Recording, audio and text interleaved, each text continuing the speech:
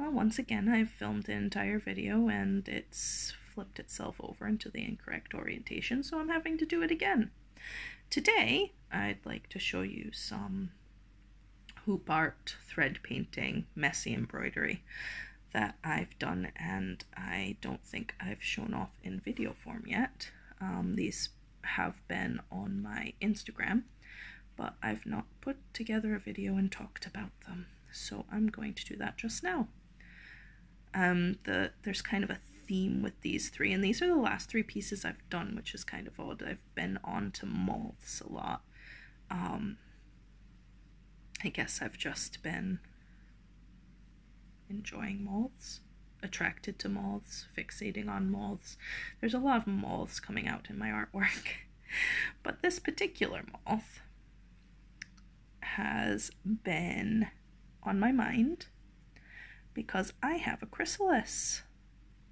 And I'm hoping that it will emerge sometime later this year. This is an elephant hawk moth. Um, I know the colors look a bit unreal, especially for a moth. You think of moths as being a bit drab, but there are plenty of very colorful moths in the world. And in the UK, it's even more rare to find things that are super colorful. Uh, I've never seen one in person, but I did have a caterpillar for a day. My friend found it for me, and she gave it to me because she knows how I love to raise caterpillars into butterflies.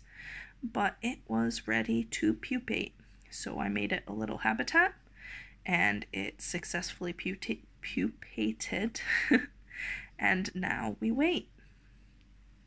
So I'm hoping that it will be fine.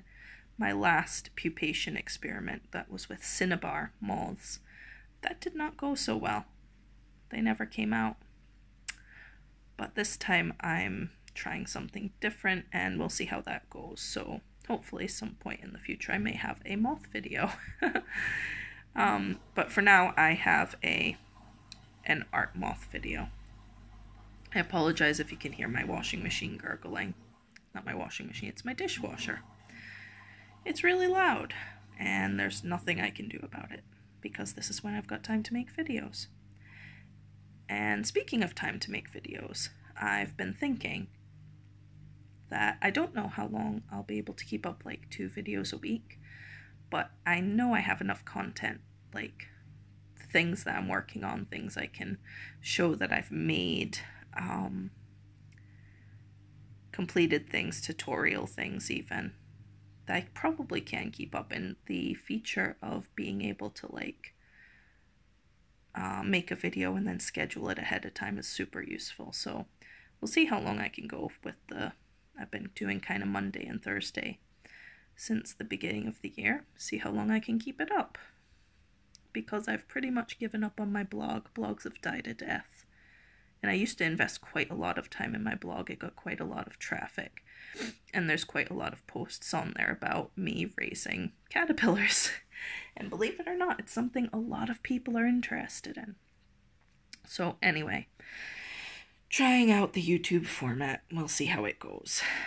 So, about the actual art part of this, I just kind of freehand the design. I draw on the on the fabric with uh, like tailor's chalk because it rubs right off after. So I, I'll very roughly sketch kind of my parameters. And then I just start adding layers of thread. It's messy and not like proper embroidery where the stitches are really um, arty, I guess. They're very precise, very neat. This is just sloppy, and that's the way I like it.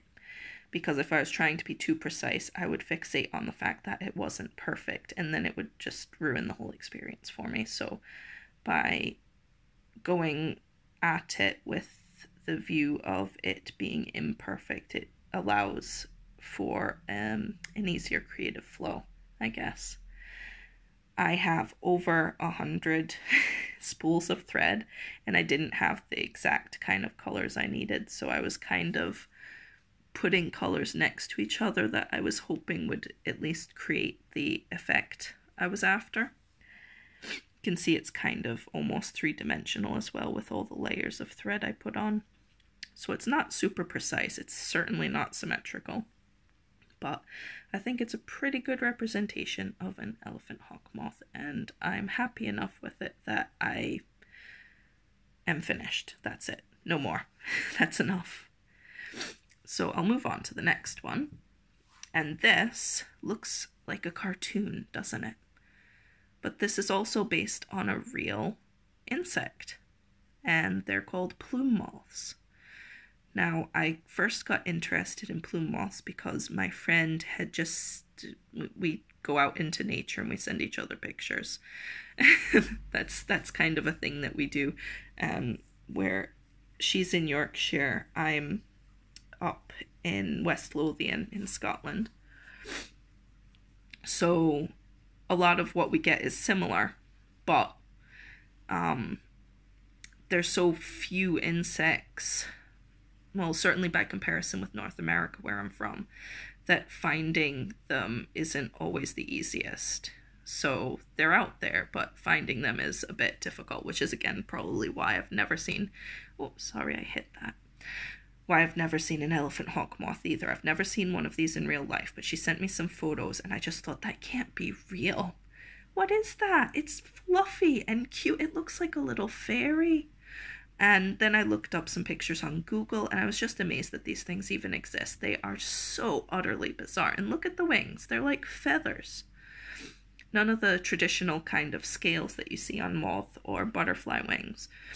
But I would strongly recommend that if you find this as fascinating as I do, which I know not many people do, but look up some pictures on Google. They are just so cool. Such interesting, neat creatures. But they're very, very small. So I'm hoping to someday see one for myself.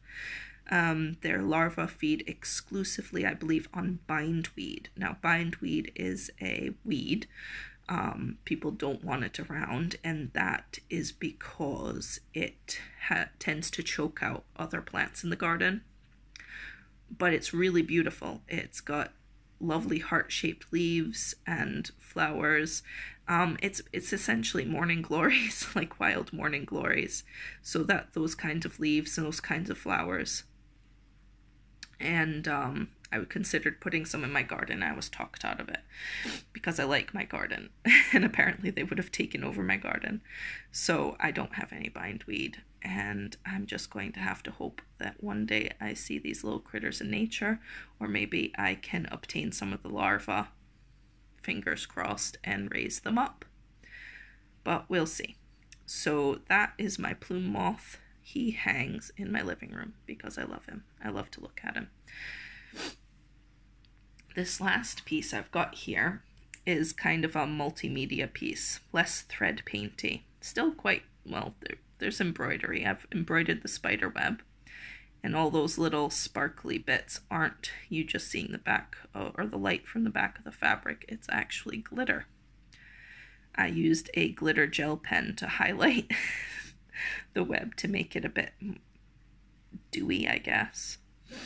I made this moth here now I had these insect wings. They're um, I cut them into a butterfly shape and uh, stuck them all together. Used some rhinestones and some wire, and you can see I highlighted the wings, uh, the veins in the wings with that glitter gel pen as well.